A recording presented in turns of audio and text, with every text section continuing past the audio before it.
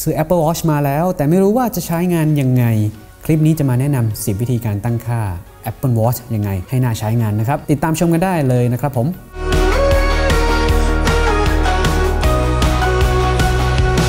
เพื่อให้มั่นใจว่าทุกคนไม่พลาดในคลิปใหม่ ๆ ที่ทีมงานอัปเดตนะครับ นี่ครับ ปุ่ม subscribe อยู่ตรงนี้ครับ ฝากกดติดตามด้วยนะครับ ตามรูปกระดิ่งตรงนี้เลยนะครับ สาวก Apple กดติดตามไว้ ไม่เสียใจอย่างแน่นอนครับ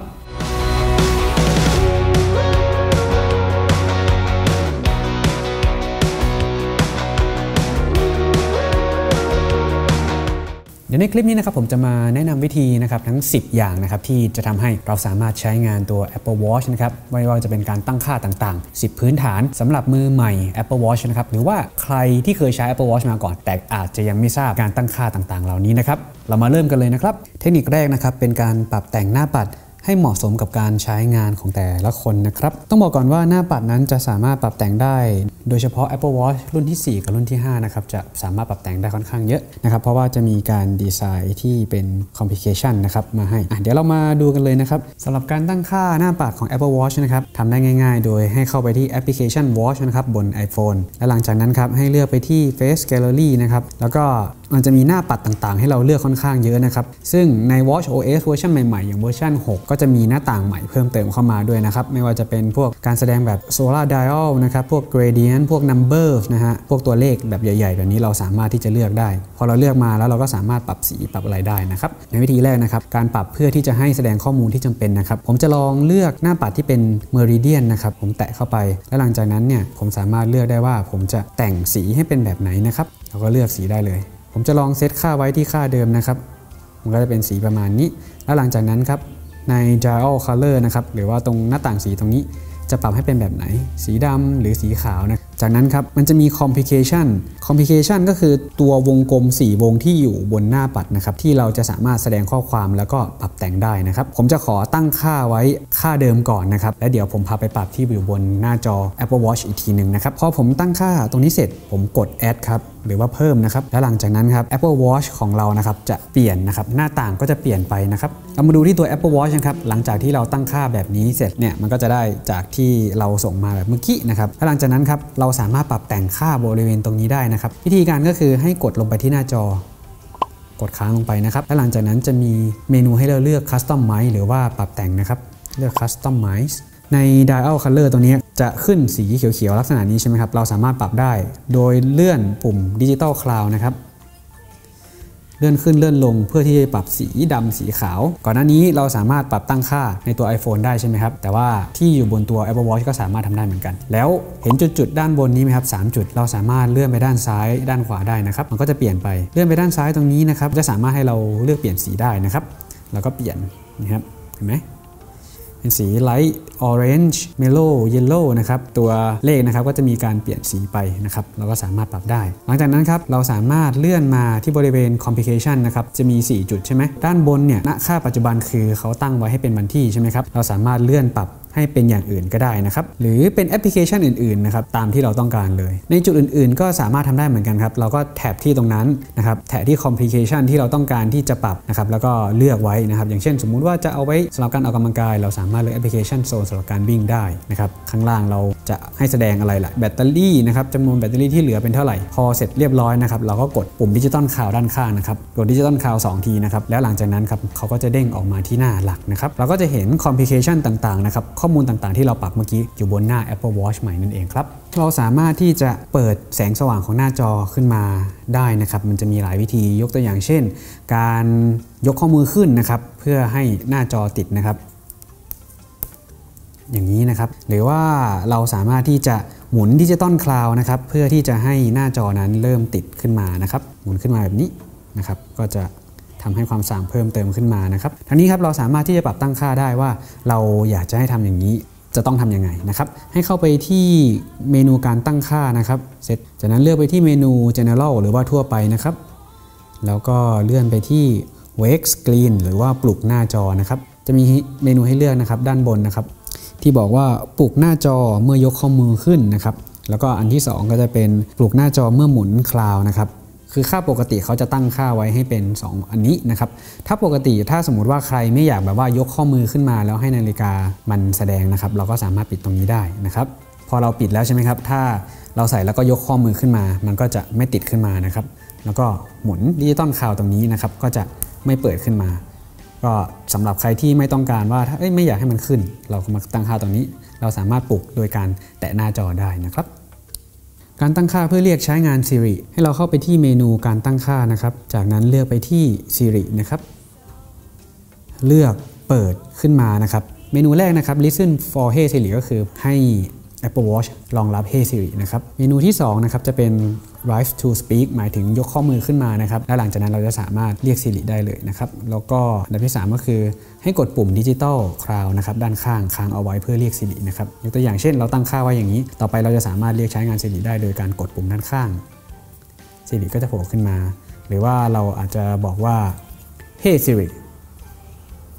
ตรงนี้นะครับ ตัว Siri นะครับก็จะขึ้นมาเหมือนกันนะครับ Siri ก็จะเพิ่มความสะดวกสบายครับในหลาย ๆ กรณียกตัวอย่างเช่น การสั่งให้เปิดเพลง การสั่งให้โทรออกโดยการเรียกเฉย ๆ ก็จะสามารถทำได้ โดยที่เราไม่จำเป็นจะต้องเอื้อมมือไปกดปุ่มต่าง ๆ นะครับถือว่าเพิ่มความสะดวกมาก ๆ นะครับผม อีกหนึ่งข้อดีของ Apple Watch นะครับนั่นก็คือเรื่องของการแจ้งเตือน แจ้งเตือนที่นี้ไม่ใช่แค่แจ้งเตือนเรื่องเวลาแจ้งเตือนไม่มีสายเข้า หรือว่าแจ้งเตือนไลน์นะครับแต่อันนี้จะเป็นเหมือนการแจ้งเตือนเพื่อให้เราออกกำลังกายหรือว่าทำกิจกรรม ในนี้ครับผมจะมาสอนวิธีการตั้งค่า เพื่อให้ Apple Watch ของเรานั้น เตือนเพื่อให้เราออกกำลังกายมากขึ้นนะครับหรือการเป็นการสร้าง motivation หรือสร้างแรงบันดาลใจให้กับการออกกำลังกายนั่นเองนะครับให้เข้าไปที่แอปพลิเคชัน Watch บน iPhone นะครับจากนั้นเลื่อนมาที่เมนูที่ชื่อว่า Activity หรือว่ากิจกรรมนะครับที่เป็นวงแหวนสีแดงสีเขียวนะครับให้เลือกเข้าไปในนั้น จากนั้นครับมันจะมีเมนูต่างๆนะครับไม่ว่าจะเป็น stand reminder daily coaching goal completion นะครับหรือว่า special challenge ต่างๆ แนะนำว่าให้เปิดทุกเมนูเลยนะครับยกตัวอย่างเช่นตัวแรกนะครับ stand reminder ก็หมายถึงเป็นการแจ้งเตือนเพื่อให้เรายืนนะครับสมมุติว่าเรานั่งนานเกินไปแล้วทาง Apple Watch นะครับจะมีหน้าต่างแจ้งเตือนขึ้นมาว่าอะถึงเวลายืนแล้วนะให้เรายืนขึ้นประมาณนั้น เพื่อที่จะทำให้รู้สึกว่าเราไม่ได้นั่งนานจนเกินไปนะครับ special challenge นะครับอย่างเช่นมีกิจกรรมต่างๆนะครับในวันสำคัญสำคัญทาง Apple Watch ก็จะสามารถแจ้งเตือนกิจกรรมเหล่านั้นได้ เพื่อให้เราสามารถ compete หรือว่าบรรลุเป้าหมายในกิจกรรมพิเศษนั้นนะครับเราก็จะได้แบชขึ้นมานะครับอันนี้ก็จะเปิดแจ้งเตือนเอาไว้ ถือว่าเป็นอีกหนึ่งทางเลือกในการที่จะแบบว่าช่วยกระตุ้นให้เราอยากจะออกกำลังกายมากยิ่งขึ้นนะครับ Apple Watch นะครับสามารถที่จะแจ้งเตือนการเริ่ม แล้วก็การหยุดออกกำลังกายได้นะครับตัวนี้จะเป็นข้อดีในกรณีที่สมมุติว่าเราออกกำลังกายไปแล้ว แต่ว่าเราลืมหยุดกิจกรรมนั้นๆนะครับมันก็จะทำให้แอปพลิเคชันนั้นก็ยัง run อยู่ สมมุติเราวิ่งเนี่ยแล้วพอเราวิ่งเสร็จ 5 กิโลแล้วแต่ว่าเราลืมปิดนะครับเราสามารถตั้งค่าให้ได้ว่าอะมาแจ้งเตือนฉันหน่อยนะว่าฉันหยุดออกกำลังกายแล้ว วิธีการนะครับให้เข้าไปที่เมนูการตั้งค่านะครับหรือว่า setting นะครับจากนั้นให้เลือกไปที่ workout นะครับชื่อภาษาไทยก็คือเมนูการออกกำลังกายนะครับที่เป็นไอคอนสีเขียวๆแล้วก็รูปคนวิ่ง จากนั้นนะครับเลื่อนลงมาครับเราจะเห็นเมนูที่ชื่อว่า start workout reminder หรือว่าเตือนให้ออกกำลังกายนะครับให้เปิดเมนูตรงนี้เอาไว้ แล้วก็ด้านล่างนะครับเลื่อนลงมาอีกจะเห็นเมนูที่ชื่อว่า end workout reminder นะครับหรือว่าเตือนให้สิ้นสุดการออกกำลังกายการเปิด 2 ฟีเจอร์นี้เอาไว้ก็จะช่วยให้ทาง Apple Watch ก็จะมีการแจ้งเตือนเรานะครับ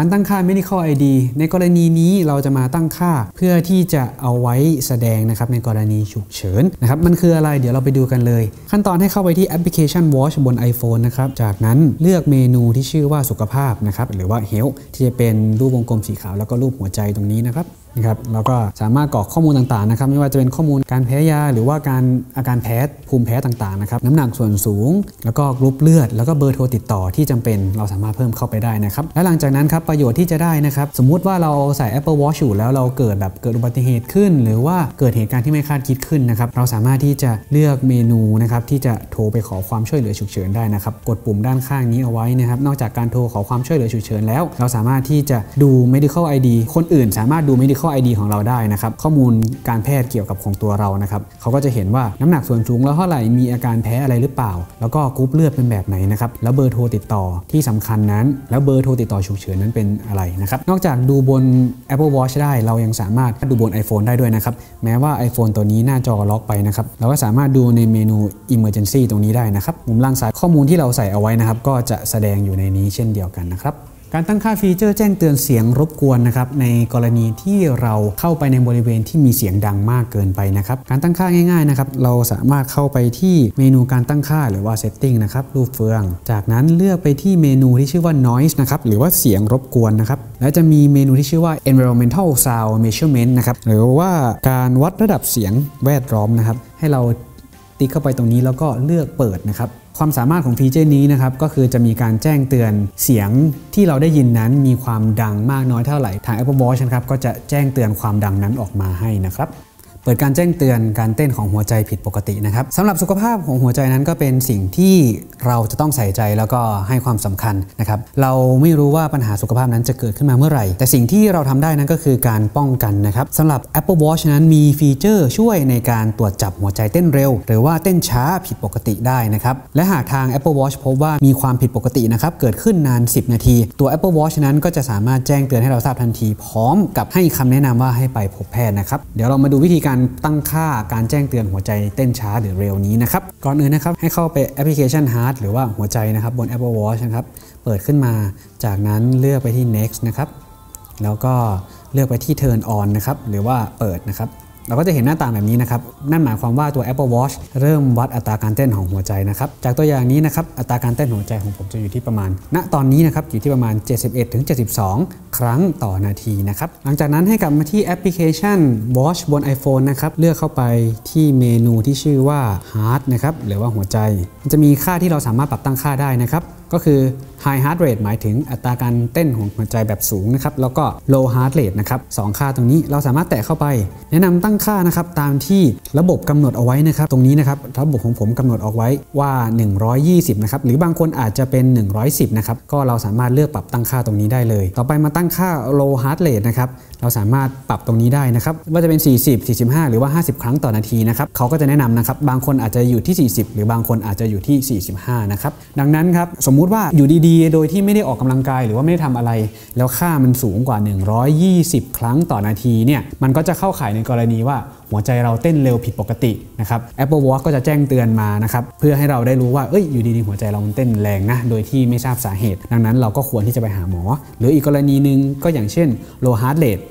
ถ้าสมมุติว่าอัตราการเต้นของหัวใจของเรานั้นมันต่ำกว่า 40 ครั้งต่อนาที ยาวต่อกันสัก 10 นาทีอะไรเงี้ยเขาแจ้งเตือนแล้วก็จะบอกว่าเอ้ยเนี่ยหัวใจน่าจะมีปัญหานะอาจจะต้องลองไปปรึกษาแพทย์ อันนี้เป็นการแสดงแค่ส่วนของการเต้นของหัวใจ แต่ว่าการแสดงในส่วนของคลื่น ECG หรือว่าคลื่นหัวใจนั้น ในประเทศไทยยังไม่สามารถใช้ฟีเจอร์นี้ได้นะครับในประเทศไทยจะสามารถใช้ฟีเจอร์ ECG ได้อย่างแน่นอน ส่วนในเรื่องระยะเวลาการปล่อยนั้น คาดว่าเร็วๆนี้ก็น่าจะได้ใช้งานนะครับใน Apple Watch Series 4 เป็นต้นมานะครับจนถึง Apple Watch Series 5 จะมีฟีเจอร์สำหรับการตรวจจับการล้มนะครับหรือว่า fall detection นะครับฟีเจอร์การตรวจจับการล้มตัวนี้นะครับก็จะเป็นประโยชน์ในกรณีที่เราเกิดหกล้ม ลื่นหรือว่ากระแทกแรงๆนะครับตัว Apple Watch นั้นจะมีการตรวจจับได้นะครับถ้าสมมุติว่าเราล้มลงไปแล้วไม่สามารถลุกหรือว่าเคลื่อนไหวได้ ยกตัวอย่างเช่นหมดสติ ประมาณนั้นครับ มันจะแจ้งขึ้นมาว่า เอ้ย ดูเหมือนว่าเราล้มอยู่นะ เราโอเคหรือเปล่า ถ้าสมมุติว่าเราโอเคเนี่ยเราก็จะสามารถตอบสนองที่หน้าจอนั้นได้นะครับ โดยที่แบบว่ากดยกเลิกว่าแบบเออฉันก็ยังโอเคอยู่ประมาณนั้น ฉันยังสบายดี แต่ถ้าสมมุติในกรณีที่แบบว่าเราทำอะไรไม่ได้เลย ขยับไม้ขยับมือไม่ได้ Apple Watch ก็จะทำการนับเวลาถอยหลัง และหลังจากนั้นเขาจะโทรไปขอความช่วยเหลือฉุกเฉินให้นะครับ เรามาดูวิธีการตั้งค่านี้นะครับว่าจะสามารถตั้งค่าได้อย่างไร ไปที่ Apple Watch ของเรานะครับ จากนั้นเลือกไปที่การตั้งค่าหรือว่า setting นะครับ ไปที่เมนู SOS ครับ จากนั้นจะมีเมนูที่ 2 นะครับ ที่ชื่อว่า fall detection หรือว่าตรวจจับการล้มนะครับ ค่าปกติของเขาจะถูกปิดเอาไว้นะครับ ให้เราเข้ามาเปิดตรงนี้นะครับ